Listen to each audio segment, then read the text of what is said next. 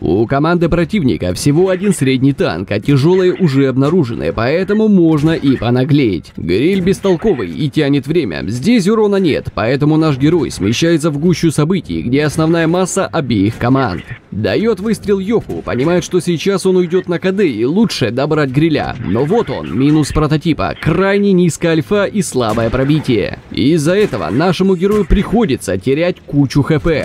А остается шотный против двух. Уходит на дистанцию и можно побеждать по очкам. Забирает КПЗ и ждет, пока уйдет за света. Дело плохо. 75-ка берет последнюю точку. Наш герой вынужден выезжать. Враг на два выстрела, но снова минус прототипа. Альфа. Не добирает противника, и 75-ка непонятно куда, но не пробивает. Немец получает почетное звание «Дно недели», а MX спасибо за такой эпичный финал.